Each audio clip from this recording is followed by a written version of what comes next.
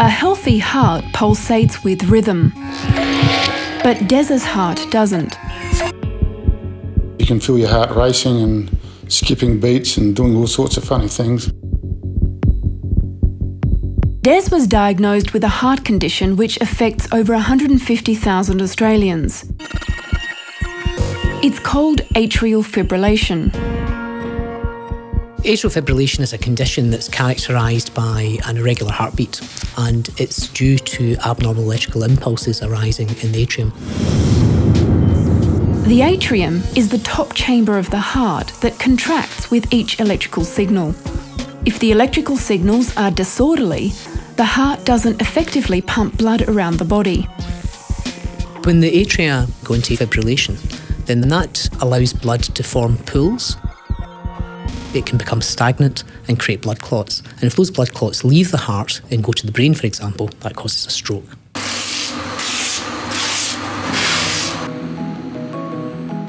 It wasn't that long ago that Des was living an active life. Well, 12 months ago, I was doing obedience with my dog. I was doing beach fishing. Um, all that's come to a halt. Why do you get emotional? You get frustrated with yourself. Um,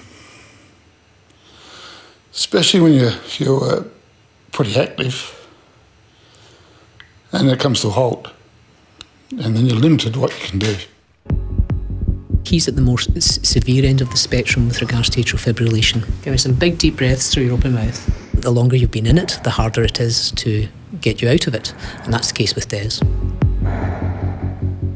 Desmond's only option now is surgery. Doctors will attempt to short circuit those electrical signals which seem to be causing the problem. To do this, doctors perform a procedure called radiofrequency ablation. That is where we try and electrically disconnect the veins at the back of the heart that lead into the left atrium. We know that these veins are important in the initiation and maintenance of these abnormal electrical impulses. This is not a new technique, but the way in which surgeons plan to do it is. They'll be using this state of the art robotic navigation system, the only one of its kind in Australia. It's much easier to control than manually, but it does give us that degree of precision. And our early data shows a slight reduction in procedural time. However, we're hoping that with increased experience that that's going to come down further.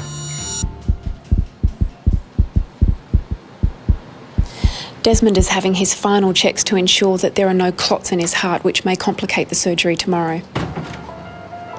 That's it. Big swallow for us. They put an ultrasound down his throat to access images of his heart. So no clots essentially, and the heart looks pretty good. So Dr. McGavigan can do that procedure tomorrow. No problem.